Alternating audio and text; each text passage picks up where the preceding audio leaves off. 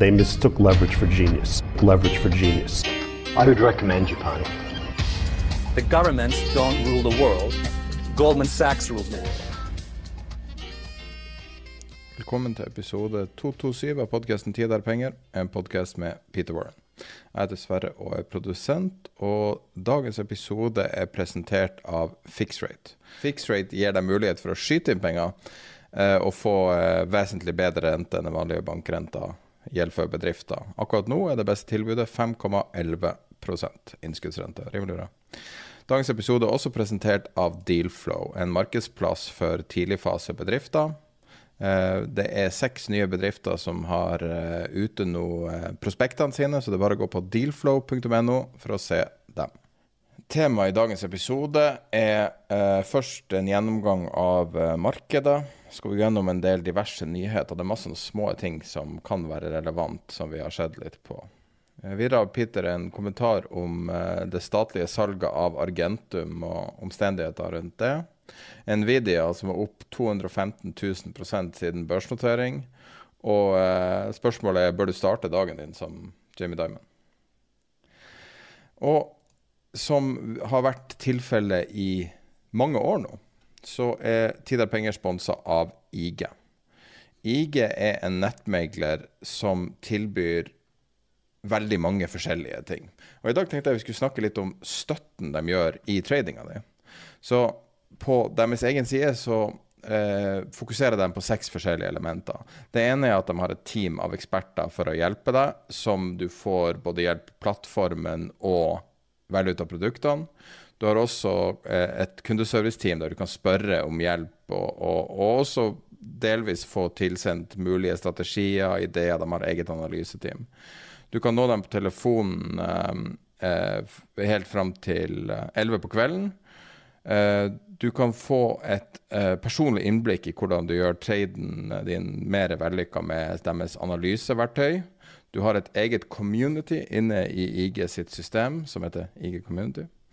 Og du kan uh, forbedre tradinga på de de, det de kaller IG Academy. Så hvis du vil signe opp på IG, så er det ig.com-no. Hvis du får spørsmål, så kan du si du hørte det på Tiderpenger. Jeg er ikke helt sikker på om jeg spør om det. De har uh, 313 000 kunder og 17 000 markeder. Så det er mange med som deg, og uh, mye å velge mellom. IG.com-no. Da starter vi. Det er Labor Day i dag, Peter. Har du på deg hvit bukse? nei, jeg har faktisk på meg shorts etter å ha trent, faktisk. Så Nei, jeg burde kanskje det. Don't wear white after Labor Day, som det heter. Riktig. Uh, Nei, jeg... Har Labor Day noe signifikans i finansmarkedene? Er ikke det litt sånn at uh, når høsten starter, så begynner mørket liksom å komme i markedet? Er ikke noe sånn? Ja, det, det er muligens sånn, men det er jo først og fremst, ja. Da, fordi oktober har, har gitt noen uh, altså kraftig negative utslag. Det er ikke det at, de, at uh, oktober alltid gir negative utslag, men uh, men de, de, de, vi husker, er, er, jo virkelig store. Og vi, vi, husker definitivt ikke, i hvert fall det gjør ikke jeg, noe store til oppsiden i oktober. Så det er nok litt, litt det som, som, hefter ved. Jeg, jeg, har sett litt på, for øvrig, på, på august. Og er, altså siden vi bare er én dag inn i, inn i den uh, nye måneden da, da uken sluttet i i forrige uke så var, tenkte jeg at det var mer interessant å se på august, og da har vi jo på toppen, da, på avkastningstoppen om du vil, så er det faktisk europeisk gass, altså nederlandsk gass, som er opp uh, 23 og årsaken er den vi har eh, snakket om. Egentlig er det to. altså Det ene er eh, faren for streik i Australia, som da tilfører eh, bl.a. Europa eh, med LNG. Eh, altså Eh, liquefied eh, natural gas. Eh, det er den ene. Og, den andre er jo vedlikehold av rørledninger og slikt som, som, foregår. Og det har jo da presset prisen på, på, på gass opp. Um, og det har da de stakkarene, og det er ingen tvil om at de som bor på Sørlandet, uh, mens vi uh, her i, på Østlandet og, og selvfølgelig lenger nord også, og for så vidt Vestlandet har da lave strømpriser, så har de på Sørlandet høye strømpriser. Og strømpriser som er eh, ja, hva blir det? Det blir nesten ja, 10-20 ganger så høy som det vi har her. Og hvorfor? Jo, hovedårsaken er at det er jo da eksportkablene som går ut derfra. Uh, som, som, først og fremst, og så har, har, de hatt mindre nedbør. Men nok en gang, og, dette, og det er ingen tvil om den effekten som disse, som disse utvidede eksportkablene har. Vi på resten av landet liksom sitter og gleder oss over at strømprisen er nede i i dag er den jo minus. Det er, det er før nettleie, bare, bare, så det er sagt. Altså når nettleien kommer på, så er den er jo fort 5-36 øre per, uh, per kilowatt, så den, den, drar på den. Så det er en illusjon å bare se på. Det var jo genialt å skille, skille nettleien fra, fra, fra, strømprisen, for det gjorde at man kunne ta, ta seg bedre betalt. Men, uh, men, jeg må jo si at jeg har sympati med de på, på, på Sørlandet nå, som da ikke får, kan nyte av, uh, av lavere, lavere, strømpriser.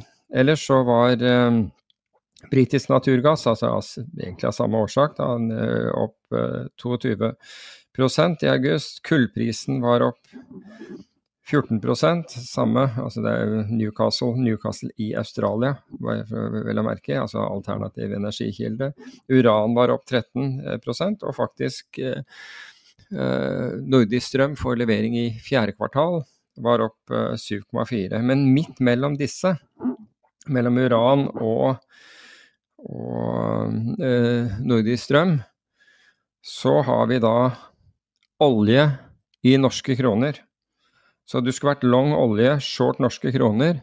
Det ga 8,8% avkastning. I, uh, I, august så hadde du da kjøpt deg dollar og investert i olje. Altså kjøpt dollar med norske kroner, så du var long dollar, short kroner i utgangspunktet. Og så brukte du da dollaren din til å kjøpe olje, så var du opp 8,8% i, uh, i den måneden alene.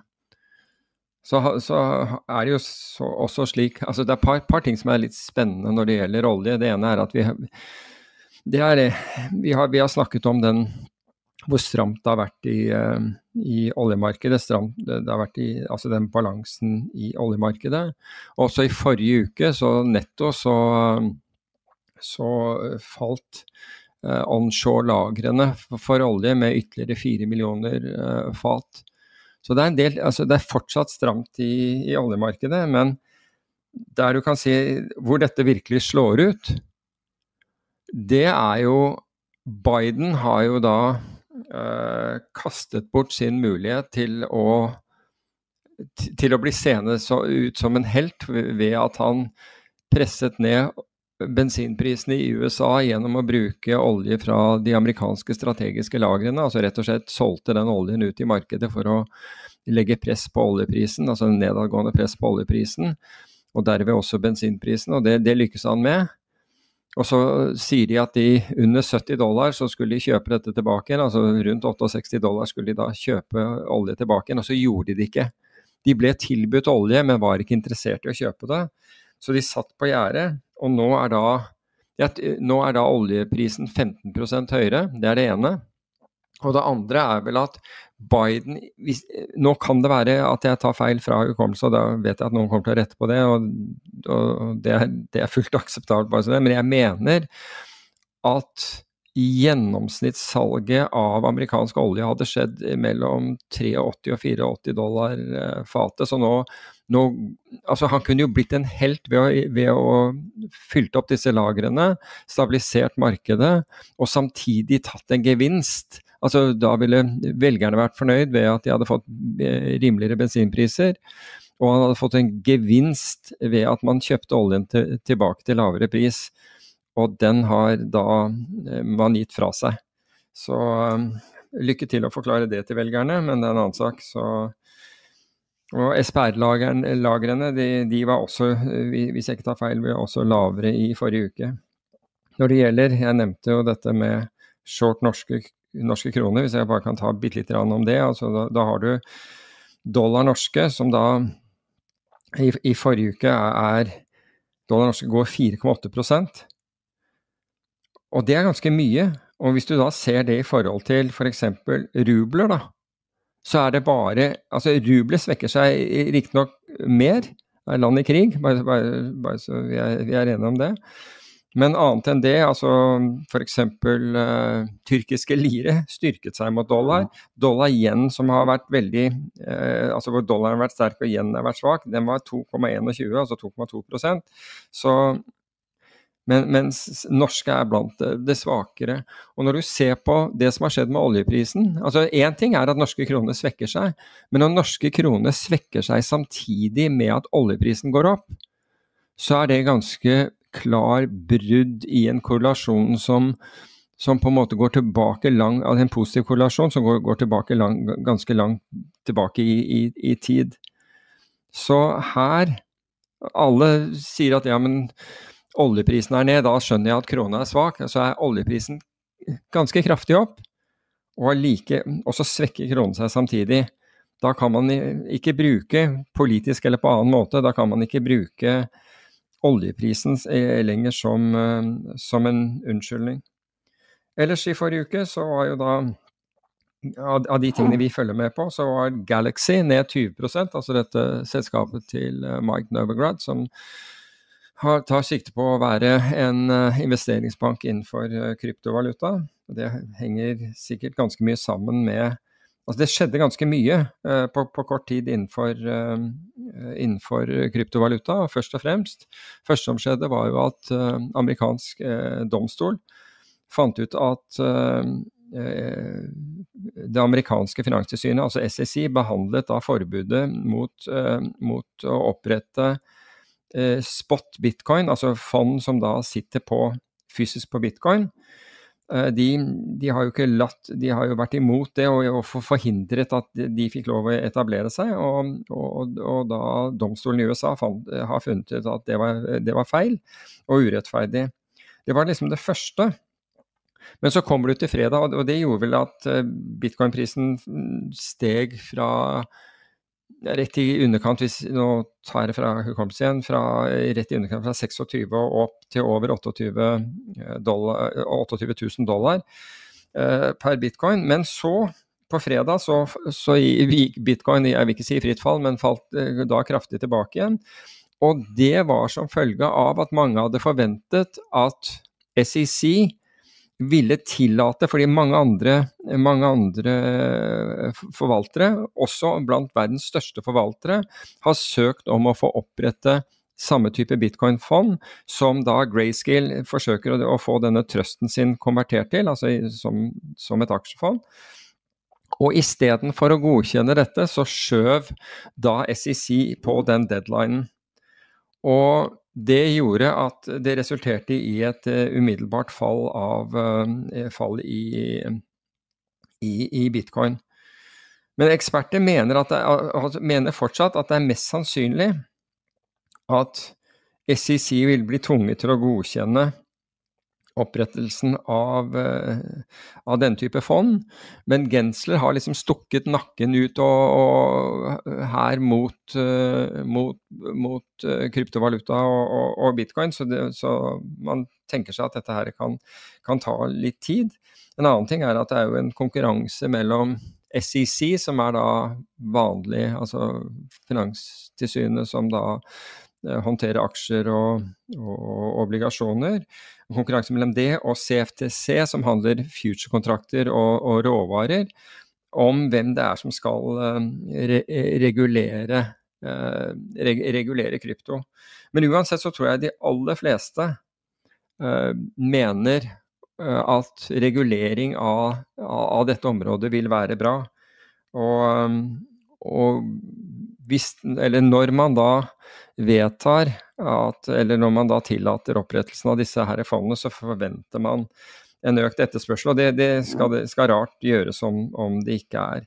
Vi har jo sett den rabatten som Grayscale-fondet har, altså fordi du ikke kan innløse i å få bitcoinene dine, så har jo den handlet til en betydelig rabatt, og den har jo vært nesten 40 dollar. Den, den, krøp, den har krøpet inn mot 17 dollar. Jeg tror den kanskje utvidet seg litt på fredag til, eh, til, til, rundt 18. Så det er det som foregår innenfor der. Annet enn det så var tankrater ned, og det gjorde at den ETF-en som som du kan kjøpe, som da uh, investerer i, i plasserer i tankrater. Den, den, var ned 20 uh, Den blokk, som, som, da er eh, en ETF som har med selskaper som utvikler blokkjeden, var ned 16% og bitcoin var vel ned 11 og det, det var på men mens, altså, når det gjelder bitcoins del, så er den opp, opp 30% øh, hit, hittil i år. Så det var litt av det som skjedde. Så kan vi si at et par andre ting som er interessant, og det er jo at hvis du så på Oslo Børs for I august så var det den opp i, rett i underkant av 1% mens Nasdaq var ned 1,6% SMP 500 var ned 1,8 og og MSCI World, altså verdensindeksen, var ned 2,4 Og det høres jo veldig bra ut for Oslo Børs, helt inntil du, du, du, tenker at den er i en fallende norsk krone. Og dermed så blir den faktisk dårligere enn de, en, en de andre, hvis du ser på internasjonal kjøpekraft. Men er du i kroner, og tenker bare på å bruke kroner, så, så var, det, var, det positiv, var, det, en positiv, sak for, for deg. Ellers så er denne AI, denne, denne ETF-en som investerer da innenfor selskaper som utvikler kunstig, kunstig intelligens, den, den, var vel litt, litt ned, men den er, den er, den er opp 40% eh, hittil i år. Den blockchain-ETF-en er for øvrig opp 46% i år. Så alt i alt så er det bra, men august var en klar eh, setback. Det var vel tallenes tale for, eh, for august. Da er vi tilbake med et nytt uh, sponsa intervju som absolutt jeg tror er verdt å høre på i dag. Og det er i serien de kaller med deres egne ord, som er uh, når uh, vi snakker med dem som leder bedriftene og kjenner bedriftene sjøl, mot at vi for, for, forklarer, forstår virkelig hva de driver med. Og så Vi sitter med Robert Berg fra Instabank i dag. Og jeg tror det er veldig mange som lurer på hvordan er status nå å være norsk bank akkurat nå i 2023? Du, eh, sånn fra vårt hjørne av eh, bankverden, så, så, er det egentlig relativt bra. Vi har jo et marked der ute som selvfølgelig er preget av alt det som skjer i makroøkonomi, og, eh, inflasjon og renteutvikling osv. Og, så og det er klart at det eh, påvirker oss jo. Vi har en diskusjon som pågår mellom dette med, som mange politikere er opptatt av, at bankene setter opp uh, utlånsrenta uh, i takt med Norges Bank. Uh, og man ikke setter opp innskuddsrenta, sparerenta, tilsvarende. men der kan jeg si at for vår type bank så er ikke det tilfellet. Så vi har jo da en historisk god innskuddsrente, og det har flere av våre nære konkurrenter også. Vi, og det er litt spesielt at uh, det er såpass bra sånn som det er nå. Uh, I tillegg så leser man jo mye om at uh, folk sliter på hjemmebane med økonomien, og biler blir tauet inn og beslaglagt osv. osv. Men vi ser ikke så mye til det. Vi ser en litt økning i mislighold, som sikkert er et uttrykk for at flere sliter litt med å få økonomien til å gå rundt. Men vi har egentlig stabile nivåer, både når det gjelder mislighold og når det gjelder uh, tap. Så alt i alt så må jeg si at uh, for en sånn nisjebank som oss, så ser verden relativt bra ut uh, her vi står. Eh, dere har økt omsetning en god del fra i fjor. Kan, kan, du fortelle litt om hvorfor det dere har gjort det? Hva som har skjedd? Ja, Eh, det kan jeg fortelle litt om. Vi har jo eh, hatt en strategi, en eh, periode eh, som har som overskrift, kan du si, å gå fra en, en um, forbrukslånsbank til å bli mer enn en bank med flere produkter. Vi kaller det selv en, en fokusert forretningsbank. Og i den planen, da, så, så, så, startet vi i 2016 med bare noen enkle produkter, sparing og forbrukslån. Og så har vi gått over til eh, Finland og Sverige med de produktene. Så i tillegg så lanserte vi kredittkort i 2018, og så starta vi med boliglån i 2020. Eh, nå i sommer så har vi eh, lansert eh, en bedriftssatsing eh, som vi nå er i en skaleringsfase på. Første omgang er det en kassakreditt. Eh, men det vil fortløpende komme flere bedriftsprodukter utover i neste år. Men den satsingen vi gjorde med boliglån i 2020, den har jo vist seg god. Eh, der har vi hatt en, eh, en eh, sterk vekst, slik at vi har jo nå 60% av våre utlån i Norge er boliglån. Og tar vi med Sverige og Finland, så er, er over 40% av alt vi har utlånt, det er boliglån. Så det korte svaret, eh, selv om ikke dette ble så kort, men det korte svaret er at eh, det er den gode veksten vi har hatt på boliglånsområdet som, eh, som har resultert i, i, inntektsveksten vår. Når man tenker på tilbake til status for banker, det er jo mye snakk om eksponeringa for næringseiendom for banker. Hvordan er deres eksponering på det feltet? Har dere noe eksponering i det hele tatt? Vi har ingen eksponering mot næringseiendom i dag. Eh, det kan jo tenkes at vi har eh, litt indirekte gjennom eh, kassekredittproduktet vårt, men, men, det er svært minimalt om overhodet til stede. Hvis du hadde sagt det i 2019, så ville jeg kanskje sagt å, stakkars deg. Og nå er, det, nå er du bra velsigna når du ikke har den eksponeringa, for hvem vet hva som skjer der? Nei, det, det, er akkurat det, da. Men eh, det er vel som med alt at alt som kommer opp, det skal jo ned. Og det som går ned, det skal jo opp. Så, så det, det, vil jo alltid være svingninger i de ulike områdene. F.eks. da vi startet opp i 2016, så var det jo kjempeetterspørsel etter forbrukslån. Um, og i det hele tatt usikrede kreditter, salgsfinansiering osv. Og, og så bremset jo dette opp i 2017 og fikk jo omtrent full stans i Norge i 2018 og 2019 og, og gjennom pandemien. Eh, men uh, i dag, uh, som vi skriver hva skal jeg si, høst 2023, så er jo etterspørselen etter usikrede produkter om ikke på nivået vi hadde i 2016-2017, så er det i hvert fall kommet betydelig opp igjen. Nå regner jeg med at vi vil få noen, eh, noen år eh, hvor, eh, hvor, det er god etterspørsel og lønnsomhet eh, i det produktområdet. Og sånn vil jo variere imellom eh, bedrift, boliglån, forbrukslån osv. Og, og der har du inngangen da, til strategien vår, hvor vi ønsker å stå på flere ben som på en måte kan fungere motsyklisk også. Du nevnte så vidt kassakreditt. Og eh, når du kaller det en forretningsbank, er, det et nytt eh, område for dere? Ja, det er et helt uh, nytt område. Vi har uh, aldri gjort noe på bedriftsmarkedet tidligere. altså Aldri som vi siden 2016. Jeg har tidligere jobbet uh, også med bedriftsmarkedet i, i Santander. som eksempel, og i Kanebank. Så jeg jo Jeg kjenner jo produktene i dette markedet relativt godt. Og vi har jo nå ansatt også tre, tre personer fra starta som, som, jobber konkret da, med denne satsingen. Og vi er ute nå og rekrutterer etter flere. Så uh, dette er helt nytt for banken og spennende, men vi ser jo at det er uh, et marked der ute. Små og mellomstore bedrifter som, som har utfordringer med å få etablert god samarbeid med de store forretningsbankene, eh, eller sparebanker for den saks skyld.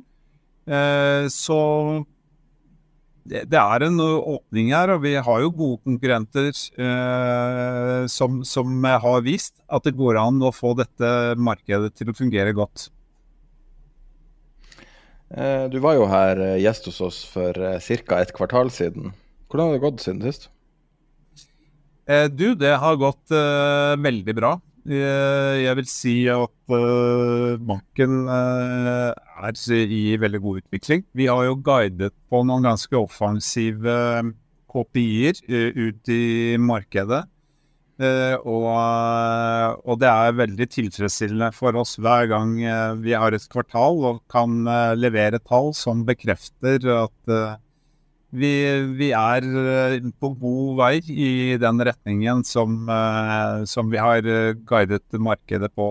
Det er ikke noe hemmelighet at vi i løpet av et par, par års tid, to-tre år, eh, skal gå fra å være en bank som har en, eh, en utlån på, på drøye 5 milliarder, til eh, det dobbelte. Altså en bank som har 10 milliarder eller mer i utlån. Og i den, i den veksten så ligger det jo en skaleringseffekt som gjør at lønnsomheten i banken eh, vil utvikle seg eh, hva skal jeg si, enda sterkere enn veksten i utlån. Avslutningsvis, hva du tenker om eh, framtida?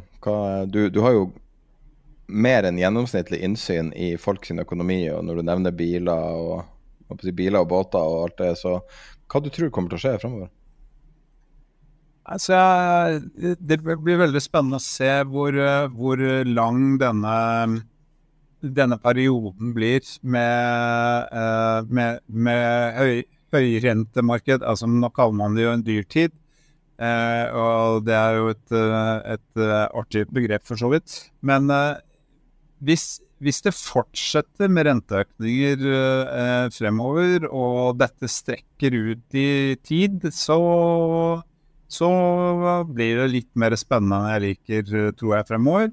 Men hvis det nå er sånn at vi er nære rentetoppen og kanskje må leve med en renteøkning til fra Norges Bank, og at det ellers begynner å pikke nedover igjen utover i 2024, så tror jeg at liksom det norske folk som sådan og eh, de norske hjem eh, har svidd litt, men eh, at de kommer ganske greit ut av dette her. og da beholder vi helt sikkert stabiliteten både bankene og i boligmarkedet og i det hele tatt. Så jeg, la oss si det sånn, jeg er, jeg er relativt uh, optimistisk, men, uh, men det er alltid et men.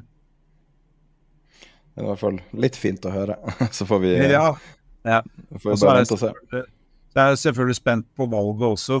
For jeg føler jo at uh, utviklingen i i boligmarkedet og, og, og litt en del andre økonomiske faktorer henger litt sammen med, med de, som, de som legger opp rammevilkårene for, for oss som privatpersoner og for bedriftene i Norge. Tusen takk for at du var med på uh, dette intervjuet. Bare hyggelig. Skal vi ta en par uh, saker som har skjedd siste uka? Litt sånn smått og stort. Forresten, hvis vi sitter og venter på åpninga hvis, hvis, du mot formodning skulle få den her før åpninga i USA og lurer på hvorfor det ikke er åpent, så det er Labor Day i dag selvfølgelig, og stengt og alt sammen. Derfor er det litt ekstra rolig i markedet. Men um, OpenAI, selskapet som står bak ChatGPT osv., uh, targeter å omsette for 1 milliard dollar i år. Og så sier at um, uh, de her eh, AI-selskapene har jo definitivt mista oppmerksomhet, eh, trafikken er ned. Men det vi ser, er jo at det er veldig mye sånne business use caser som ikke blir så mye overskrifter av og sånne ting. Så jeg tror ikke bruken av dem som faktisk bruker det, går ned, men definitivt hypen har dødd litt ut. Uh, Hugging Face har jo henta inn penger og er verdsatt veldig høyt, og, og kan være kanskje en et mer naturlig fokus enn OpenAI når det kommer til AI, hvis man skal fokusere på et selskap. Mm. Uh, så du den bestillinga som uh, kinesiske NIO hadde fått fra Oslo Taxi? Nei. Basically, altså det er tilsynelatende taxi over mange regioner og sånn. Um, og um, i den forbindelse så dro jeg opp for å se på de her Nioene, for at de kinesiske elbilene har, liksom, har, egentlig ingen begrep over det. Og etter jeg hadde sett de der, så tenker jeg at uh, Faen, Mercedes har trøbbel, altså. Virkelig? Kvaliteten var så mye høyere enn jeg trodde. Oh, wow. Og det at Oslo Taxi gjør ei sånn bestilling, altså en avtale, da det jo, legitimerer jo hele markedet. ikke sant? Det er jo Mm. dem som forbruker mye biler og sånn. Og når du ser liksom altså Selvfølgelig, det er jo litt quirks med kinesiske biler fortsatt, men det er kommet langt, altså. Så em, jeg tenker de etablerte, Toyota, Mercedes og for så vidt altså Tesla åpna jo den døra, Mm. og nå har kineserne storma gjennom den. Det var min oppfatning jeg var der. Jeg var sjokkert over hvor, hvor komplett det var. Å, wow. Jeg har ikke sett disse bilene i det hele tatt. Jeg regner med at det tar en stund før de kommer ut i trafikken, eller, er- eller er de Nei, de er i trafikken. Jo, de har vært De i er flere det. år i Norge. De har um, flere De har jo Nei, jeg tenkte under Oslo Taxi, det var det jeg mente. Ja, det, noen er vel på veien, men det her er en ny kontrakt. Jeg la det ut på hjemmesida. Det var en link til elbil.no. Oh, nice. Men um, det bare fortsetter å vise at eh, det der kinesiske Den kinesiske manøveren på elbilfronten, det tror jeg, det tror jeg har skikkelig potensial. altså. Mm. Vil jo hjelpe Kina veldig i de her vanskelige tidene. Ellers så går det mot en sånn ny eh, government shutdown i USA. Enda en. Hvor mange har det vært de siste ti årene? Det er bra mange. Ja, det er bra mange. Jeg er helt enig. 1. oktober. Ja. Ikke at det har ingen signifikans for markedene normalt sett, men du har et ganske betent uh, politisk klima der, så at, uh, at de skal eh, at de skal få trøbbel og, og, og ikke få i, gjennom sånn brofinansiering for staten, det tror jeg nesten er en given, nå, sånn som de krangler. De prøver jo nå å, å, eh, heter det, å stille Biden for riksrett, eller hva det heter for noe. Impeache han. Så For, vel- for å ha utvidet? Eh, jeg tror det er pga. sønnen hans. Jeg er ikke helt sikker på hva det er. Men eh, jeg tror dramaet ikke kommer til å gi seg med det første. Nei. Følger du den Trump-rettssaka, eller Trump-rettssakene? Følger ja, du med på det? Ja, ja, jeg gjør det. Jeg gjør det. Hva er Eh, taken din på det? Nei, altså jeg registrerer jo det at det ser jo ut som det bare eh, styrker den, eh, det, hans oppslutning. Som betyr jo at liksom halve landet er i for, total fornektelse over, eh, over det som skjedde. Samtidig så registrerer jeg også at disse Pride Boys som da som da gjorde, fulgte oppfordringen og marched on the capital, eh, har blitt nå har fått eh, fengselsstraffer, de som har vært oppe i retten, og det var noen i forrige uke, eh, på- mellom 15 og 18 år. Så, så jeg, jeg, jeg, jeg syns det er interessant, og det er jo selvfølgelig også ikke minst interessant at du kan bli dømt i alle disse her og, og fortsatt bli pre president. Det er visst ingenting i, i veien for i USA, det er jo merkelig. Men det er jo til de grader polarisert i USA. Jeg kan aldri huske å ha sett landet så splittet, men jeg kan heller ikke huske å, å ha sett så mange andre land splittet også, det, for å være ærlig. Men, eh, men det der er en sånn evne til å totalt lukke øynene for fakta, det, det er jo skremmende. Det, er ikke, altså det, er, det er skremmende nasjonalt for, for USA, men det er jo ikke minst skremmende for resten av verden. Altså hvis Trump kommer til makten igjen, så kan man regne med altså Siden han to ganger hadde besluttet at eh, USA skulle forlate Nato, og det var bare tilfeldigheter, eller sagt på en annen måte inngripen av de voksne i rommet i, i administrasjonen hans som gjorde at det ikke skjedde under hans uh, under hans presidentskap, så, kan man jo, så er det vel tvilsomt om, om Nato ville overleve en, en ny runde. Så det skaper jo utrolig global usikkerhet. Jeg tror han hiver Ukraina og Taiwan rett under bussen, bussene eh, hvis han, han kommer til makten. Så Men er det ikke sånn i de presidentkampanjene at den som leder tidlig, ofte ikke vinner? Men altså, han leder jo veldig mye, da. Altså, han leder jo i- veldig mye. Men, det, er, men det, det som forbauser meg, er at det, det virker ikke som noen annen får noe solid oppslutning og dermed kan være en, en aktuell kandidat. I hvert fall ikke så langt. Og det spiller ingen rolle hva man har Trump på tape og har sagt. altså Nå er jo noe kommet frem av den bevisførselen og, og, og så videre. De, man bare overser det fullstendig. Nei, dette, dette er fake news. Altså, han klarte å lage og, og, Nei, det, det stemmer ikke. Uansett om han har sagt det i full offentlighet, så gjelder ikke det. Det viser jo bare hvor stort det å være kjendis er i USA. Må, hva annet kan det være? Nei, jeg vet ikke, men, men det viser jo altså det viser at halve landet er i total fornektelse. Det, det, er det, ene, det, er det ene. Men det andre er at det viser hvor ekstremt vanskelig det er å, å, å spå eller forutsi eller forsøke å forutsi fremtiden. Altså, vi, vi, vi syns jo alle at det er komplisert innenfor, innenfor, økonomi. Og hvorfor er det komplisert? Jo, fordi det er ekstremt mange variabler som skal til. Og det er variabler som vi kjenner. Og selv om vi kjenner de, så vet vi ikke hvordan vi skal vekte dem. Vi, vi kan forsøke å vekte dem, vi tror vi vet det, men det viser seg at de har en annen betydning når, når push comes to shove, jeg vet ikke hva det heter på norsk, men altså når det gjelder. Og så, I tillegg så har vi de, alle de andre faktorene som kommer inn. F.eks. Altså hvis, hvis, du bare tar eh, det som er oppe i dagen i dag, altså det at du har den usikkerheten du har med USA. Du har en, en renteoppgang man, man, de aller fleste ikke har sett maken til. Du har krig i Europa. Det kan lett bryte ut noe i Asia, da tenker jeg rundt, eh, rundt Taiwan. Og Hvis du sammenligner det med den perioden hvor vi hadde kvantitative lettelser og null eller negative renter, og en, en globalisert verden når det, gjaldt, eh, når det gjaldt handel Hvis du sier at du kunne forstå at markedene gikk opp på det, og nå har du reversert alt dette, gjort verden vesentlig mer usikker, gjort kostnadene vesentlig høyere, gjort det mye dyrere å, å foreta investeringer og skape lønnsomhet, og allikevel så, så, så har, du, har det bort, altså Det hadde effekt på markedet i fjor, men, men bortimot ikke. ikke mange, mange, land har, har, har, det kommet opp, uh, har uh, børsene kommet opp i, i, samme nivå. Du har truende energikrise, muligheten for at Europa går tom for strøm. Det kan skje igjen, selv om lagrene nå er, er, er, ganske fulle. Så kan det skje fordi vi hadde en unormalt uh, varm vinter i Europa i, i, fjor. Og folk hadde virkelig strammet inn livremmen når det gjelder forbruk av, av strøm.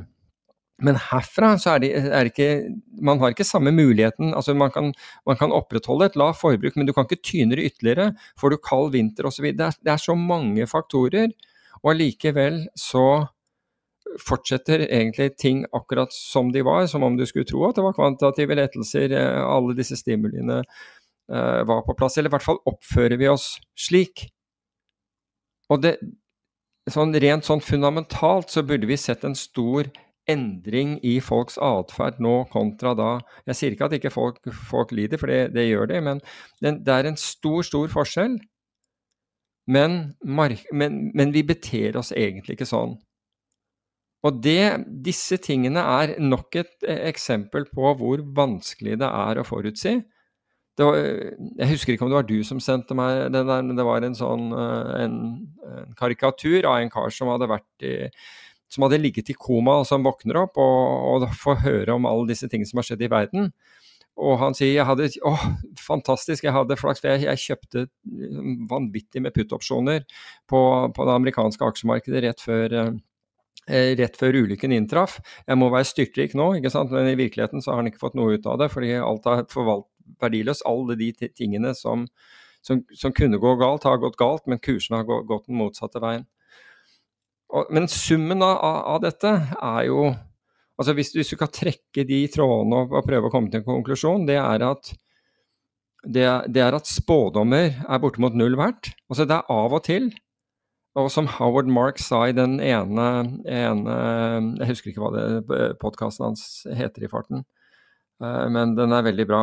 Uh, og Howard Marks er en forvalter, for de som ikke kjenner han, som, har, eh, som er svært internasjonalt eh, anerkjent. Han har vel eh, muligens sluttet som, som forvalter nå, men i hans levetid så hadde han, så hadde han gitt fem spådommer, altså sånn, og de hadde gått inn. Men det er jo ikke noe du kan gjøre hver dag, og det er det vi forventer stort sett av, av analytikere og andre å gjøre, er at de skal, og, og som de indeed gjør, altså ved at du ser nye spådommer i, i media så godt som hver eneste dag. Men det går tilbake til å ha robuste porteføljer. Ha porteføljer som har de egenskapene som du trenger, og da tenker jeg og ikke mer risiko enn at du kan håndtere. Det er så utrolig mye viktigere enn å forsøke å finne enkeltaksjer eller enkeltsektorer nå og da, eh, eh, eller å tro at du skal slå markedet. For det viser seg at nesten, det er nesten ingen som klarer det.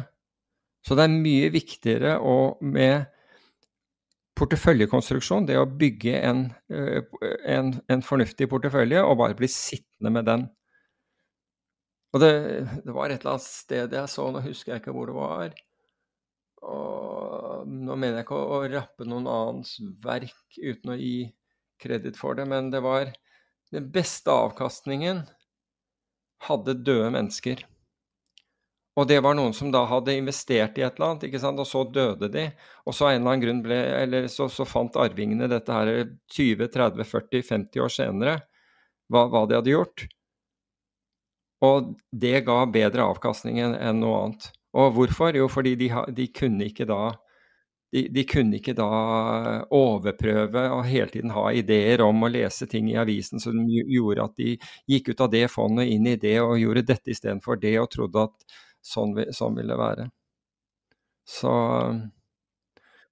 hvis det er et take som uh, lytterne kan ha av dette, så er det, så er det porteføljekonstruksjon er mye viktigere enn en noe annet. Enn en å tro at du, du, skal kunne, du eller rådgiveren din for den saks skyld, kan forutsi fremtiden. Begynte det med et spørsmål fra deg som jeg tok av helt på, eller hvordan var det da? Jeg husker ikke hva jeg snakka om. ikke jeg heller. Jeg vet ikke hvor det der begynte, men uh, det var nå dit det gikk. Men, jo, du, du, spurte om dette med, med Trump og uh, fulgte med, så eh, Ja, jeg gjør det, men og, og, for meg så ser det ut som, som det er absolutt mulig, jeg vet, jeg vet ikke i hvilken grad sannsynlig, Altså i hvilken sannsynlighetsgrad, men at han, at han kan bli gjenvalgt. Uh, Apple har uh, gjort, Apple er jo et selskap som nesten alle andre selskaper i de sektorene de opererer i, emulerer. Så hvis Apple gjør noe, så gjør alle det. Og um, de har jo veldig høy kvalitet på produksjon og veldig høy kvalitet på produkter. Og um, nå skal de angivelig begynne å bruke 3D-printere for å produsere de her uh, metalletuiene til klokken sine. Og så vidt jeg vet, er det en av de få produktene som skal produseres på den måten. Og det kan jo være, virkelig være et sånn gjennombrudd for 3D-printing som teknologi. Uh, og um, det finnes jo norske selskaper som opererer i det feltet, og, og det, det, har vært et generelt løft for hele sektoren etter den nyheten kom ut på Bloomberg. Oh, nice. Det er spennende teknologi. Eh, amerikanske finanstilsynet eh, vil ha mer innsyn i eh, hva de Jeg visste ikke at det fantes uh, high frequency-tradere av amerikanske statsobligasjoner. Oh, Men uh, de, uh, det er noe sånn regelendring som gjør at de i praksis får mer accountability og mer innsyn inn. Og det, det, blir mer innsyn i hva de holder på med. da. Visste du at det var high frequency treasures? Absolutt. Ja, ja, absolutt. Altså dette ja, Absolutt. Uh, og Robin Wigglesworth, altså friend, friend, of the pod, eller vi er i hvert fall friends av, av, av ham, i Financial Times, uh, han og jeg hadde jo en, en, en, en litt opphetet diskusjon om akkurat det der eh, for tror jeg var i 2020.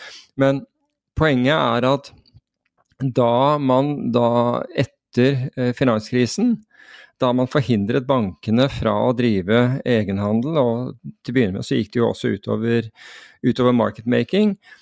Av, også av eh, statsobligasjoner så, et, så, var, så, ble jo det kontret fra, eh, fra finansielt hold at det eh, ville gå utover markedet og markedenes likviditet.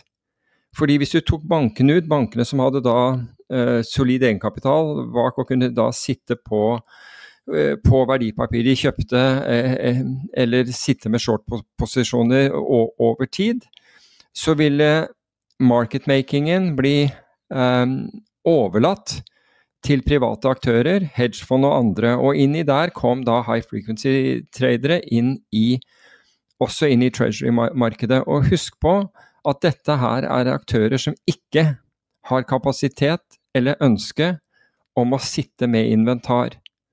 Så når de kjøper noe, så har de tenkt å selge det så fort som det overhodet går an. Selvfølgelig med, med, en gevinst, men det kan dreie seg, seg helt ned i mikrosekunder.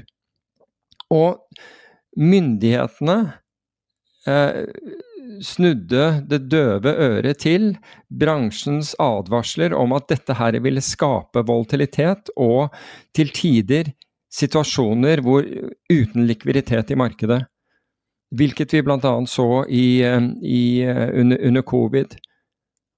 Og at man Det er helt merkelig, eh, finner jeg, fordi det er det du har fått. Du har, all marketmakingen i dag eller nesten all marketmaking i dag, består da av, av high frequency tradere som stiller for så lite volum som overhodet mulig og har tenkt å kaste ut det. Og, og, hvis de kjøper noe, skal de selge og hvis de shorter noe, eller altså med andre ord de selger noe, så skal de ha det tilbake igjen.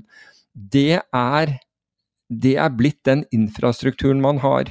Det er ingen som absorberer salgspress eller kjøpspress hvis de forstår at det er et stort salgs- eller kjøpspress, så bakker bare eh, prisene av, og du får en mye dårligere kurs enn du ville få før. Tidligere så kunne du kjøpe hundrevis av millioner i statsobligasjoner uten å flytte kursen. Du kunne sikkert kjøpe milliard uten å flytte kursen.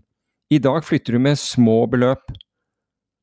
Så dette er rett og slett en konsekvens av regulerende myndigheter og, og lovgivere som ikke som var politisk motiverte og ikke forsto effekten det kunne ha på markeder. Og nå, eh, De her eh, høyfrekvensaktørene må jo være med i FINRA nå, og da eh, er det da de andre reglene som gjelder. Og man vil kanskje få enten oppbremsing eller i hvert fall, om ikke mulig, innsyn. Mm. Eh, videre, nå er det jo nesten ikke vært en episode siden i, i vår at vi ikke har snakka om zero day to expiry-opsjoner opsjoner med veldig, veldig, veldig kort uh, forfallstid.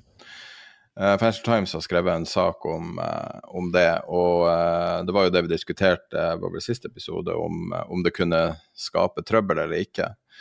Og de har snakka med analytikere som sier at, at de har sett økt volatilitet pga. Um, denne type opsjonshandel, spesielt i ETF-er knytta til SMP 500-indeksen. Bank of America er uenig. Uh, men uh, de påpeker igjen det der risikoen for det gammaskvisen som vi ble vitne til i 2001 eh, med GameStop og en rekke andre aksjer. Det var vel ikke i 2001, det var vel i 2021? 2021. Ja.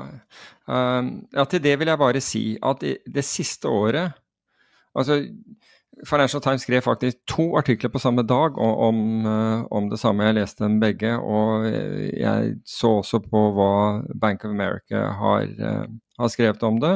Og vi har snakket om dette tidligere, bl.a. det der at de forfaller jo altså det er, det er ikke fysisk oppgjør, eh, men opsjonene eh, cash-avregnes. Altså avregnes mot en, mot en sluttkurs ved, ved, slutten av dagen, slik at du tar ikke med deg inventar inn dagen etter. Så når opsjonen din har forfalt, hvis du var long den opsjonen øh, og øh, den hadde en verdi, så er det differansen mellom sluttkursen den dagen og innløsningskursen din som beregnes, og så får du det på konto. Du vil med andre ord ikke, ikke beholde, hvis det er en indeks, altså en posisjon i indeksen dagen etter. Er du shorten, så skjer akkurat det samme som, som jeg nevnte, slik at den opphører. Og den drar ikke med seg en eller annen legacy inn i i uh, dagen etter, og, og, og, derfor kan påvirke markedet. Det som selvfølgelig kan påvirke markedet, det er hvis, uh, hvis marketmakere har, har sittet short, short, eller long dette her, og, og, de har inventar inn. Men, de, men the proof of, of, the pudding is in the eating. Og det, når man da hevder at dette har medført høyere volatilitet, så vil jeg si det at det siste året så har volatiliteten eh, beregnet ved hjelp av VIX-indeksen halvert seg. Så det er ingen tegn på at dette her har, har noen effekt. Og, og, og VIX-en er nede i 13 i øyeblikket. det, det, er ikke dramatisk whatsoever. Altså, vi har sett den lavere, og det så vi før det smalt i, eh, i 2020. Og da påpekte vi også, da hadde vi VIX under, under 10% og det har vi nesten aldri hatt. Men det er ingenting som tyder på det. At det intradag i løpet av dagen er, eh, eh har vært eh, aktivitet. Ja, noen ganger så har det det, men hvis du sammenligner og jeg ser på dette på 5 minutter, 10 minutter, 15 minutter, 30 minutter, times eh, basis. Med andre ord forskjellen mellom høy og lav på, på, på, disse indeksene. Hvis du går og ser på det og sammenligner med før disse zero eh, day to expiry-opsjonene oppsto for fullt, så var de faktisk mer volatile før innenfor disse periodene. Noen ganger så ser vi det spike. Absolutt, noen ganger, og det varer gjerne en f.eks. en 15-minuttersperiode eller, eller, eller noe slikt noe, men det er foreløpig så er det ikke noe dramatikk. Betyr det, og det er det også Bank America har, har konkludert med, betyr det at det aldri vil kunne være noen som helst form for volatilitetsøkning som følge av dette? Nei, det gjør det ikke. På samme måte så, som som hvis du holder dynamitt atskilt fra, fra fengheter, så kan du ikke si at det aldri vil komme en situasjon hvor den dynamitten kan gå av, men du har gjort alt, alt du kunne for å, for å, sikre den. Men jeg syns at altså, kan folk tjene og tape penger på dette? Absolutt. Det er helt klart. Men de som nå tiltrekkes mot, uh, mot dette, så, og som ikke er institusjoner, er ofte folk som har en eller annen formening og tro på at de kan forutsi prisen på, på indeksen f.eks. i løpet av den neste dagen. Og De tenker kanskje ikke nødvendigvis på det at hvis det kommer tall den dagen, altså, og da tenker jeg eh, økonomiske nøkkeltall som er viktige, så reflekteres det allerede i prisen.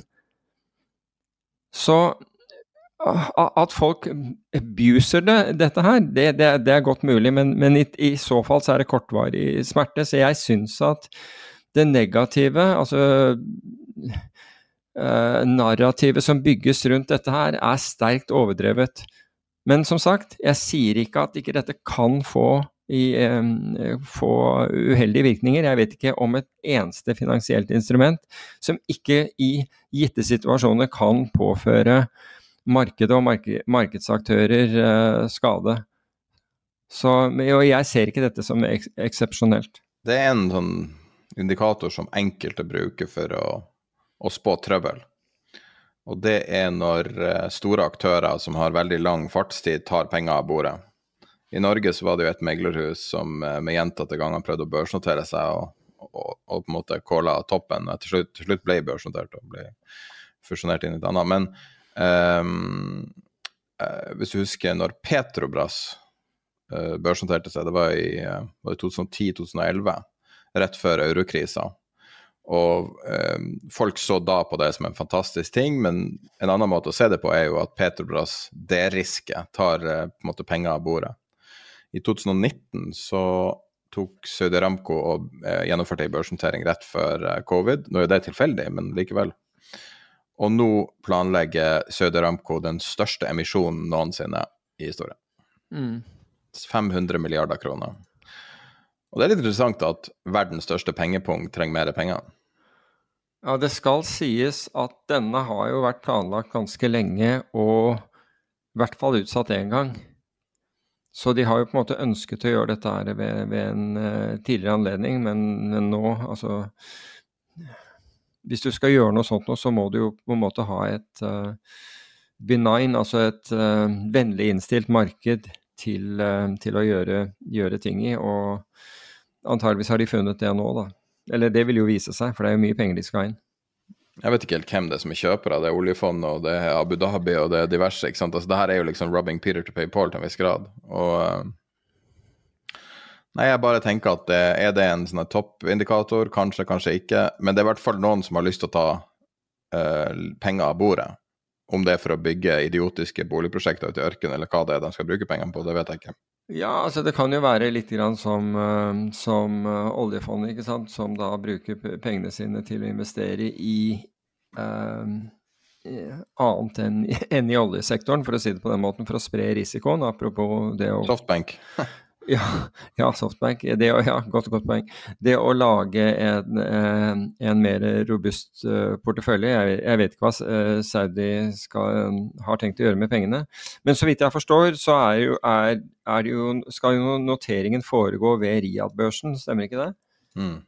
Og bare det gjør vel at en del aktører uh, ikke vil kunne, kunne delta. Altså Rent fysisk har du ikke koblinga opp mot Riyadh. Det er ikke en standardisert, vanlig børs. Så um, jeg tror det er rent praktisk vanskelig å gjennomføre. Ok, ok. Jeg vil tro det. Tror ikke du det? Nei, jeg, er usikker på hvor, hvor, hvorfor man har valgt det på denne måten. Men, altså det, eh, hadde de gjort det på, i London f.eks., så ville jo det ha vært en vesentlig mer attraktiv uh, proposisjon. Ja, det er akkurat det. Det, det var egentlig det jeg, det jeg, mente som gjør at uh, er at du vil ha uh, færre færre interessenter enn, enn, om det ble gjort f.eks. i London eller New York. Så, kan det være at de har lyst til å selge til sine egne? Er det så mye penger internt i landet at de kan gjøre det? Jeg vet ikke. Uh, jeg ville trodd at hensikten var å ikke gjøre det. Er ikke det sånn 3000 prinser i House of Saud? Tror det. Eller Tenk deg det dramaet det må være bak forhenget der. Jesus Christ. Ja, det er én mann som bestemmer, så ja. og, og, og, historien har vist at det går litt dårlig med, med de som uh, De som uh, måtte være i opposisjon til ham. Jeg har en uh, nyhet som du ikke vet om, som jeg ikke har lagt inn i regnearket. Kom igjen. I 2029 kan det være at du blir GPS-spora i bilen din. Hvis Statens vegvesen, Skatteetaten og Arbeiderpartiet får eh, viljen sin nå. Det siste er noe de har hatt i Det har vært et forslag i eh, partiprogrammet deres i mange år. Men nå har Statens vegvesen og Skatteetaten lag, lagt fram fire alternativer. De kaller det veibruksavgift og alt sånt. De nevner ikke hva det er. Det er GPS-enhet i bilen din. De skal vite hvor du er til enhver tid. Det høres orwelliansk ut, men nå, nå, er det en sånn GPS i bilen min som det er, men uh... Ja, men det er ikke sånn at, uh, at folk kan sitte og, og koble seg på den uh, uten at du vet om det. Nå har du jo en telefon på deg hele tida, man er jo ja, overvåka i veldig stor grad uansett. Absolutt. Men herre fred. Ja, jeg er enig. Og overskriften i alle avisene fra NTB var at det kan være milliardbeløp som koster deg, og milliardsjokk og sånne ting. Men pengene er noe problem her. Er ikke det overvåkinga? Stasi-level overvåking? Jo, det er det. Neste er å få en chip uh, i, i, skulderen. Men du trenger jo ikke det når du har mobiltelefon på deg. Nei, ikke når du har mobiltelefon på deg. Du legger den aldri fra deg, så Jeg gjør det, for å si det på den måten. Og, og jeg har også tilgang til Faraday, Faraday så hvis, hvis det er det å gjøre. Ja, hvis, hvis, hvis, det er det om å gjøre. Men, uh, men min mobiltelefon er, er, ikke med alle steder jeg er, for, for, å si det på den måten. Det er den ikke. Nettopp av, av den årsak. I California, eller i Florida nå, så er det liksom på den ene siden så har du sinnssyk vekst i eiendomsprisene. 17% i Miami, liksom. Fra år til neste. Og, og generelt mm. vekst i, i USA, pga. det er ingen som selger bolig når du har de lave fastrentelånene som, som du har inngått før 2021. Eh, Vet du hva, hva, hva snittet ligger på? På fastrenta? Nei, ja, snittrente, eh, snittrenten til, til, eh, på boliglån i USA, altså hvis du ser over hele USA 7,2 Nei, hva, hva, de faktisk betaler. Altså, hva, det er vel en 2% kanskje? Nei, 3,5. Ja. 3,5. Men du har liksom den kontrasten. Du har vanvittig mye tilreisende nye, nyinnflytta i uh, Miami som da gjør at den uh, boligprisene der vokser raskere enn noen steder på jorda. Og så har du kontrasten da med alt ekstremværet og dramatikken i hele Florida. Dog på andre, mm. på andre kysten, da, altså på, på vestkysten. Men, men, at folk nå uh, slutter å ha inn, altså slutter å ha boligforsikring fordi at det er rett og slett for dyrt. Det var en artikkel i Wall Street Journal om det. Men, men du, du, kan si den innflytningen til Miami, det er altså det er, den, det, er, det er Miamis svar på, og det sier jeg med tongue in cheek, eh, Bø i Vesterålen. Og det er at det er, det er, gunstigere skattemessig å ha, drive næringsvirksomhet fra, fra, fra Sør-Florida og Miami enn det er f.eks. Fra, eh, fra østkysten og og, og, vestkysten av, USA. Og Det du har sett er teknologiinvestorer fra vestkysten komme, eh, flytte til Miami, og du har sett finansaktører fra østkysten flytte til Miami. og Det har gitt en enorm press på, på boligmarkedet der borte, og det er det som egentlig reflekteres her. Absolutt, men det som er, det som er kontrasten her, er jo det Altså Det var jo f.eks. springflo i forrige uke der, på, på vestkysten av Altså på andre sida av der, der Miami ligger. da. Mm. Uh, og, uh, og, det var vel den verste noensinne. De debatterte om det var verre enn i 93 eller ikke. Og, um, og det gjør jo at boligene nå de er jo, Det er jo veldig robuste boliger, de står på påler og alt sånt, tåler mye. Men uh, det vær, værtrykket er ganske ekstremt, og hvis det kommer en skikkelig svær en, så spørs om du sparer så mye på å ligge i Miami, da. Eller ligge i Florida. Ja, jeg vet ikke. Um, Miami har vel ofte klart seg, har de ikke det? Altså, det kommer vel fra andre sida, tror jeg, som regel. Ja, uh, men de har ofte klart seg hvor, hvor disse, disse, hurricanes har gjort landfall, landfall uh, nord, for, uh, nord for Miami. Det er sikkert Så. derfor Miami ligger der det ligger, skulle jeg tro. Ja, og det er også deler av, uh, av Karibien, og, eller Kine, som også har liksom hele tiden altså by the grace of God uh, unngått uh, disse store, uh, store or orkanene. Og så har de gjort det høres bare ut som en risky trade, det er alt jeg tenker. ja, mulig. mulig. Du, du, kjenner det nok godt. altså. Det var jo, det var jo slik Det var vel i år, var det ikke det? Jo, jeg tror det var i år da jeg var der borte. Da, da blåste det så, så fælt at vi mistet vel Jeg tror vi mistet strømmen mens vi drev og tok opp. Og da hadde jeg vært Rett, rett før? Ja, da, og da hadde jeg vært ute, og det var Altså, vinden var sånn Det var nesten umulig å klare å gå mot den. Så det trykket på. Så, men, eh, men prisene, altså som du sier, alt er blitt, alt er blitt veldig dyrt eh, nå i um, Men forsikring er Altså, det er uninsurable, nesten. Ja. Det jo Det blir garantert et problem. Du ville tro at selskapene ville komme inn og by, og by ikke sant? Altså Hvis noen er uninsurable, det er alltid noen som er villig til å ta risken om det er reassurert i Lloyds eller hvor det er, så vil du tro at det er noen som klarer å En, en aktuar som klarer å beregne en fair value for, for dette her, og, og, et selskap som da sørger for at prisen de tar, ligger over der. Men uh, hva vet jeg. Jeg vil jo tro Altså, det er jo snakk om å få, få spredd den risikoen på no, nok enheter. Um, Statnett hadde en markedsanalyse de publiserte, jeg tror det var i helga nå. Og der de hadde ei uh, grei Altså, det står ikke så veldig Det, det handler om uh, energibalansen i samfunnet. Og så var det ei overskrift egentlig som jeg syns oppsummerte den greit, uh, litt nedi. Negativ kraftbalanse hvis det ikke kommer ny produksjon. Og det syns jeg sier alt. Mm. Og de snakker om alt mulig annet. Det er jo Statnett, så det er jo ikke så veldig overraskende at de ikke snakker om eksporten. Men de snakker om alt annet enn eksporten. Og det de basically sier, er at Norge har ikke nok strøm. Nei, og da skal vi av gårde igjen, og da, da, kunne jo den diskusjonen med Melkøya kommet opp, og en hel del andre ting. Ja, og eksporten. Og det er jo tusen ting vi kunne ha gjort ja. Eh, og kunne ha diskutert, men her sier de bygger mer, man bygger mer. Og det er jo for så vidt sant, man må sikkert bygge mer hele tida, men det koster jo penger. Ja. Når vi da samtidig, vi samtidig pøser ut øh, eksporterer øh, til, til, andre, så er det vel det der et sluk av en annen verden.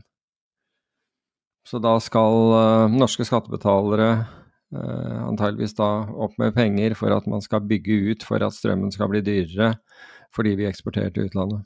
Jeg har tenkt på det med eksporten, for det har vært diskutert hele tida. Nei, Norge har signert med EU, vi kan ikke gå tilbake på det. Så bare men hvorfor kan Tyrkia sitte og forhandle adhoc med Sverige om Nato-medlemskap, mens Norge kan ikke forhandle med EU? Ja. Sitter ikke vi i akkurat like sterk posisjon overfor EU som Tyrkia gjør overfor Nato? Det kan jo være at noen norske politikere ikke ønsker å utmerke seg i en uh, debatt med EU, kanskje se for seg kanskje en karriere der, hva vet jeg. Kanskje. Jeg skulle bare ønske at man satte Norge først én gang. ja. Og så kan man gå tilbake og sette Brussel først igjen, men bare ja. én gang. ja, det hadde vært hyggelig. Det er jeg helt enig i. I hvert fall når, jeg, når uh, avgjørelsene om det vi driver med ble, ble fattet på, på, feilaktig grunnlag, så er det jo rimelig at man kunne, kunne, ta den rollen. Jeg er helt enig. Det ville, være, ville vise respekt overfor folket. Fallende diamantpriser. Ja. Uh, vet du hvorfor det opprinnelig er så høye priser på diamanter? Nei, det vet jeg ikke. I 1930 så var jo ikke diamanter dyr. Eh, diamanter er ikke sjelden, det er en myte. Diamanter er overalt. Mm. Men eh, fram til sånn 1998 eller noe sånt, så var det De Beers-kartellet som eide typ 98% av alle diamanter og lagra dem. Men grunnen til at det ble så dyrt, var én reklamekampanje gjennomført av, av um, han som er faren til markedsføring, nevøen til uh, Freud. Og før det så var ikke diamanter dyr. Og det, samme, og det var i 1930. Og så nesten over natta ble diamanter dyr og sjelden. Og det samme gjorde de i Japan typ 30-40-50 år senere. Det er bare markedsføring. Mm. Det er derfor det ikke finnes en diamant-ETF, liksom. Wow. Men nå faller prisene. Ja, 39% på en måned på ett karats uh, diamanter. Uh, fra 1400 dollar hver karat og til, til 850. Så det er jo dramatisk, uh, det i seg selv. Men det er, det er, i hvert fall voldsomt. Bra for de som, som, som ønsker å kjøpe den slags. Litt mer kjedelig for de som, har, som sitter med, med, dette her i en liten sånn en liten tøypose i safen. De sier jo det at hvis du går inn på en sånn diamantbutikk og kjøper diamant, og så går du til nabobutikken som kjøper og selger, og så prøver du å selge, mm. så får du 10% av beløpet. Der har du verdien. Ja, det er vesentlig lavere. Det, jeg, jeg, så på dette her for veldig mange år siden. Jeg var i, var i Hatton Gardens, og jeg var i Antwerpen og, og, og kikket på det, og det er helt håpløst. Det, det er null likviditet på det der. Men det var sånn uh, roughly de nyhetene vi hadde sett på? Ja, og så Eh, bortsett fra det, så, så er det jo én ting altså Jeg ser på dette statlige nedsalg av Argentum, eller vurderer salg av uh, Argentum. Um, og Argentum, bare Det er jo da dette Det er jo ikke et PE-fond, egentlig, fordi det er et fond av fond som staten satte opp. Så staten satte opp et fond, ga det penger, og de pengene ble da investert i andre fond som drev med private equity. Og det, det, var jo helt fantastisk for de som, eh, som, hadde eller var i ferd med å starte private equity-fond i Norge, for plutselig fikk de enormt med forvaltningskapital av staten. Og, og det vi vet, er, altså historien har vist at dette var i en periode som var helt utrolig bra, altså med fallende renter også, og og kvantitative lettelser og, og, og, derav stigende, eh, stigende, aksjeverdier. Så det har gått helt utrolig bra. Men så kom da den debatten uh, hvor uh, de ansatte ikke de lenger skulle kunne være medieinvestorer, fordi de fikk anledning til å investere i dette her òg, så de fikk jo fantastisk avkastning, de ansatte. Og så uh, sparket Vestre styret som da ikke ville gå med på, på, på, på videre kutt i, i, i, goder. Og nå sitter da staten igjen uh, og eier dette her uh, Argentum med et nytt management. Men hva er verdien av, av noe sånt noe? Altså fond i fond-verdien, den er Altså hvis du ser på et annet fond i fond, uh, ikke statlig eid, så er, ligger verdien i det det ligger i at du beholder uh, forvaltningskapitalen og alle kundene i fondet. Verdien er nettopp kundemassen. Her er kundemassen én, og det er staten, bare så det er sagt. Uh, så du kan lure på det. Og i tillegg så har de som drev dette i suksessperioden, godt hjulpet, må jeg, må jeg si, av en, en fantastisk Eh, en fantastisk oppgang i aksjemarkedene og nedgang i renter og alt det der vi snakket om i, i sted. Veldig mye hjulpet av det. De har, begynt, de har sluttet å begynt, begynt sitt eget. Så du har ikke det samme management-skillet, num, num, nummer én. Du har ikke tusenvis av, av ulike investorer og, og institusjoner som, uh, som, aksjonærer. Så jeg lurer egentlig på hva det er du, du selger. Og det vi har sett, er at, at fond i fond generelt har falt veldig i, verdi, altså den verdien som andre investorer, andre eh, eh, finansforetak, har vært villige til å, til å gi for disse. Så, så, jeg må jo si at dette her skal bli spennende å se. Også ut ifra at liksom skillsettet med private equity, altså de som valgte aksjene og selskapene som de da skulle investere i, det var ikke de som satt i Argentum, men de som satt i underfondene som Argentum hadde investert i. Så jeg er litt, sånn, litt spent hvordan den uh, matematikken skal, uh, skal, settes opp, og, og, og, begrunnelsen skal settes opp. Så det blir en spennende sak, eh, sak fremover å, å, følge med i. Så var det en annen sak jeg så, og det var Envida. Nei, det heter Nvidia, når jeg tenker meg om, gjør det ikke det? Uh, altså selskapet som da lager disse prosessorene som uh, benyttes til uh, ja, er, De er jo ikke det eneste, men de er i hvert fall en av de mest kjente som lager prosessor til, til AI-maskiner. Og de er da opp 200 Altså aksjen har steget 215 000 siden børsnoteringen i 1999. Altså vi, vi, kan liksom si hva vi vil om bitcoin, men altså 215% det er, det er så det holder. Og en, hvis du investerte 10 000 dollar på IPO-en, altså på, ved børsintroduksjonen, så er den verdt 21,5 millioner dollar i dag. Men i løpet av den tiden, da, fra 99, altså 1999 frem til 2023, så har aksjen falt mer enn 50% ved tolv tilfeller, og mer enn 90% ved to tilfeller. Så det forteller jo hvilken hvor sterk mave, altså, eller risikotoleranse, du måtte ha for, for, å kunne nyte godt av de 215 eh, 000 prosentene. Det er verdt å tenke, det er verdt å, å minnes, fordi vi hører jo alltid om ting som har gått voldsomt opp, men det er ikke alltid vi forstår at uh, at du kan si at basehopping er, er, som en sånn godnattsang for barna i forhold til den, den, den adrenalinturen du har vært med på for å, for å kunne oppnå for å, for å, kunne oppnå disse 215 000 prosentene. Men du hadde et eller annet om det. Du mente at dette var opprinnelig finsk, var det ikke det? Eller finsk? Nei, men det var mye finsk. Jeg tenker på når, i tidlig fase, fordi Nvidia drev og sloss med et selskap med 3DFX. Eh, og, og, det var Jeg mener at det var et finsk selskap som var det aller første grafikkortet som kunne produsere 3D-grafikk. Så det var litt sånn eh, blanding av historie her, men de har jo lang historie fra tilbake til 93. Uh, og um, ingen skjønte jo hva det her Altså GPU er jo et relativt moderne, en relativt mo moderne oppfinnelse.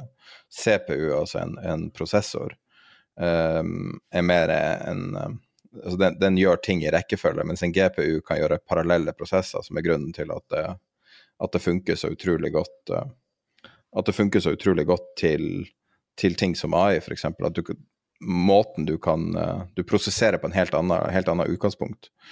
Uh, men uh, det er rart det der å tenke tilbake når jeg brydde meg om sånne her ting på 90-tallet, liksom. Og hvor umulig det var å se hva Nvidia kom til å bli. Selv bare for noen år tilbake, rett før bitcoin tok av, hvor vanskelig det var å se potensialet i Nvidia, som så ut som i aller høyeste grad et ultranisjeprodukt i en ultranisje. Mm. Et lavskala nisjeprodukt som noen få personer var interessert i. Små antall mennesker, liksom. Noen, noen millioner. Og så ble det utrolig viktig i utvinninga av kryptovaluta. Så døde det ut, og så kommer AI eh, det sekundet det Og så ser du at AI er enda, enda større. Og nå er det jo det mest ettertrakta nesten produktet på jorda, er jo en av de H100-kortene. Eh, ja, det, og, og, det igjen forteller jo sitt om vår evne til å, å, å forutsi. Ikke sant? Altså Helt umulig å forutsi noe av det. Nettopp. Helt nettopp. Så skulle du egentlig ha fått med deg Nvidia, så, så, vil jo det ha, sannsynligvis ha skjedd ved at du har investert i et eller annet teknologifond. Og der skulle jo også forvalteren vært mer enn en kald for å ha sittet på noe som da halverte seg ikke sant, med, med ikke ujevne mellomrom, men, men, men, hele, men mer enn tolv ganger og mistet 90% av verdien sin to ganger. Det vil være veldig lett for en forvalter å si, og spesielt når han blir da spurt om hva han har i porteføljen og hvordan han tenker. Så vil det være veldig lett for en forvalter å si at det der kutta jeg ut, altså jeg orka ikke å, å, å, å, være med på. Så det sier sitt. Ellers så, på den positive siden, da, så, så har da eh, Financial Times, eller journalist i Financial Times, gjort en studie av, av suksess, eh, det de kaller suksessrike mennesker. De har da blant annet, Det er Jamie Diamond som, er, eh, som ble avbildet i forbindelse med dette, men de har sett på veldig mange mennesker fra, fra, næringslivet, banker, teknologiselskaper, mange sånne ting, Zuckerberg er blant dem osv., for å se om det var noen fellestrekk hos disse menneskene. Hva er det disse menneskene gjør som, som vi andre dødelige ikke gjør. Og det som Og, og det var, var, interessant å se, for det er, det er absolutt fellestrekk. Og det interessante med disse fellestrekkene er at hvis du skal gjøre det, så koster det deg ingenting annet enn en innsats.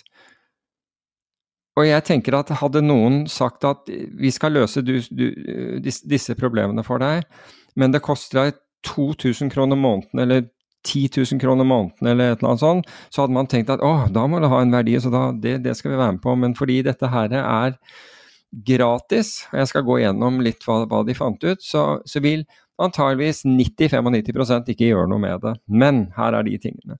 Det ene var folk, folk det gjaldt, folk de studerte, viste seg felles, eh, fellestrekket. Det ene var de sto opp tidlig om morgenen. Og de sto opp tidlig om morgenen rett og slett for å få litt tid. Egentid som de da kunne bruke. Og vi, jeg skal komme tilbake til hva uh, veldig mange bruker den der tiden, eller faktisk alle brukte noe av den tiden til. Det andre de gjorde, var å re redusere antall beslutninger de måtte ta om morgenen.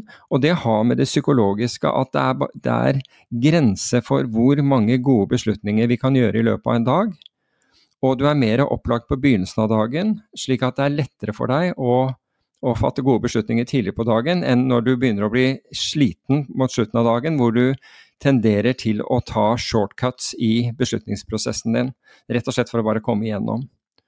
Så de aller fleste dødelige vil da ikke uh, være i stand til altså er, som, jeg, som, jeg, sa, det er grenser for mange gode beslutninger du kan fatte i løpet av dagen. Så hva gjorde de om morgenen? Jo, de planla dagen i forveien hva de skulle ha på seg. Når det gjelder Mark Zuckerberg, så har han bare bestemt seg for at han skal ha T-skjorte, for han vil ikke bruke tid på det i det hele tatt. så han har han går i T-skjorte og muligens olabukse, jeg antar det er det han har på seg, men i hvert fall det var, det var en av måtene han gjorde det på. Andre la klærne sine klare kvelden i forveien, slik at de kunne bare, uten å tenke seg om, hoppe i klærne. Vi, alle, vi, vet alle, hvis du skal pakke om morgenen og skal gå tidlig, hvor, hvor frenetisk og gærent det kan være. Altså, du har høy puls og prøver å huske ting, og du kommer halvveis ut døren, og så har du glemt et eller annet, osv. Helt håpløst, i hvert fall syns jeg. Så det ene var da å redusere antall beslutninger. Mosjon. Samtlige, samtlige en, gjorde en eller annen form for emosjon. Og det er ikke så viktig, altså du må bare finne en som passer til deg. Uh, uh, slik at det er, det er ikke meninga at du skal pushe deg sånn at du for ubehag for ubehagets skyld eller, eller noe sånt noe, men det å få mosjon på morgenen hjelper å få i gang både kropp og hode, altså du får liksom økt eh, blodtilførsel. Og det hjelper også på en endorfinproduksjon din som gjør at du blir gladere i seg selv. Så det, det var viktig.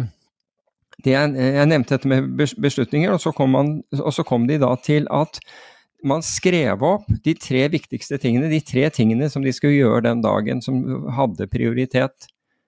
Og det har jeg hørt fra, fra, fra mange, at de, de, bruker det, og det gjør at de kommer gjennom den dagen. Og da kan de på slutten av dagen si ja, jeg fikk gjort det der. Og du får på en måte en, en velværefølelse ved at du har klart å de, gjennomføre de tingene uh, du, har satt, uh, du, har satt, deg. Så uh, noen drev med alt fra krav maga til stretching, altså den, den mosjonen. Andre jogget seg en tur, gikk på et treningssenter. Det, det, var ikke så viktig. Altså Finn noe som passer for deg, og så end liksom litt på rutinene av og til, slik at du får litt mer effekt av, av treningen. Men disse tingene var, var uh, Dette gikk igjennom hos, hos, disse menneskene. Det er enkle ting. Og så så de på på noen av morgenrutinene til, til, andre. Beethoven har laget seg da kaffe med ikke, ikke mindre eller flere, men akkurat 60 kaffebønner. Uh, jeg vet ikke helt hva, hva, hva, hva, det kalles, altså det at du er opphengt i, i det. Men, uh, men det, var han, det, var en del av hans rutine. Mens uh, Warren Buffett drakk en cola. Jeg vet, ikke, jeg vet heller ikke om, om, om, det er så, så, positivt å få et sukkersjokk som first thing in, in the morning. Men de, disse var egentlig de enkle tingene som alle kan gjøre, hvis de vil. Så det er bare opp til din egen motivasjon og tiltak å kopiere dette her, fordi det virker, dette, dette er fellestrekkene for folk som får ting gjort. Og det er helt garantert, hvis du, hvis du sjekker noen av, noen av, av, eh, av, disse i Norge som har hatt suksess innenfor uh, for forskjellige områder, så jeg er sikker på at det finnes noen, noen tilsvarende rutiner hos de aller fleste av disse her. Men det er enkelt å få til. Altså det, ok, Du må stå opp tidligere om morgenen. Da kan du legge deg tidligere om kvelden hvis det, hvis, uh, det er et problem. Prøv å stå opp samme tid hver morgen. Og om du velger å meditere, um, mindfulness, eller om du går ut og, og løper en, en tur, det, er, altså, det, viktige er at du gjør et eller annet. Sånn at du får um, litt, litt, bevegelse, men også det vi kaller på engelsk 'clarity of mind' um, før, før, du går i gang med dagen. Så jeg tenkte at det var verdt å, å, å dele, og, og håper egentlig at folk give it a shot. For liksom nedsiden er veldig liten. Altså nedsiden, Men du må jo da gjøre det nok, nok dager til at, du, at dette kan bli en rutine for deg. Så det hjelper ikke om du står opp til, i morgen, tirsdag morgen og sier ja, klokka fem. Nei, det der virka ikke for meg. Jeg er trøtt fortsatt og ikke klarte jeg å finne på tre ting å gjøre osv. Du, må på en måte gjøre det som en, som en disiplin. Helt, eh, helt, til slutt så kunne jeg bare tenke meg å, å takke eh, Norwegian Hull Club, som jeg holdt et foredrag for eh, for halvannen uke siden utenfor, på Herdla utenfor Bergen. Mest fordi de, de, stilte utrolig interessante og Eh, ganske krevende, krevende, spørsmål, men jeg syns denne sesjonen var, eh, var, var, veldig, veldig bra fra mitt ståsted pga. Den, den, den feedbacken og det engasjementet som, eh, som de ga. Så jeg har for øvrig et privat, foredrag på et privat arrangement i, i Oslo denne uken og, og, og neste uke i skal jeg snakke på karrieredagen i Bodø. Så det blir spennende, det også. Det var de tingene jeg hadde tenkt å, å, å nevne. Noe fra deg? Nope. Da er vi tilbake neste uke. Ha en fin uke.